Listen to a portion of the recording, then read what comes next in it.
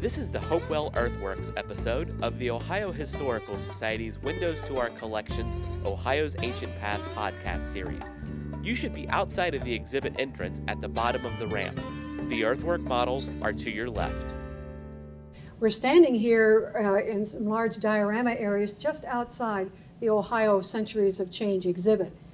These uh, large scale uh, three dimensional models present some of the most famous of the Hopewell earthworks uh, sites constructed by these people between about 100 BC and 500 AD. They give a marvelous sense of the form of the earthwork and how it's situated in the landscape.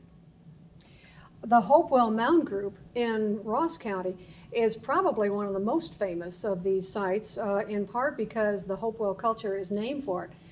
Uh, excavations over a number of years uh, done by archaeologists uh, in various mounds in the Hopewell Mound Group have uh, produced a large number of some of the most spectacular art made by these people. Many of the Hopewell artifacts in the Windows to Our Collection exhibit are from this particular site. The Fort Ancient earthwork is an example, and the best example at that, of a hilltop enclosure. Hilltop enclosures are walls made of earth and stone that enclose the top of a hill or a bluff. And the form of the earthwork in this case is determined more by the shape of the hill than by an abstract geometrical form. The Seip Earthworks is in Ross County along Paint Creek. It's an example of a geometric enclosure uh, with portions consisting of simple geometric shapes such as the circles and square. The large loaf-shaped mound at the center of the large circle is Seip Mound.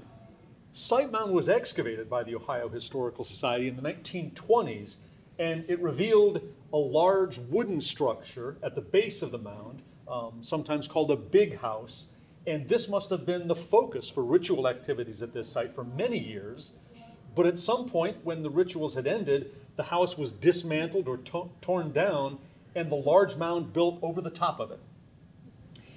The uh, monumental earthen architecture of the Hopewell culture is unique uh, in its uh, scope and in it, and its geometric precision. Uh, and it's evident too that some of these earthworks were aligned to movements of the sun and the moon.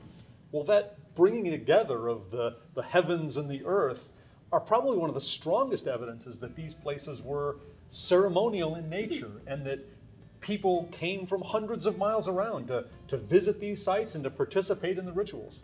And people are still coming there even in the 21st century. That's right.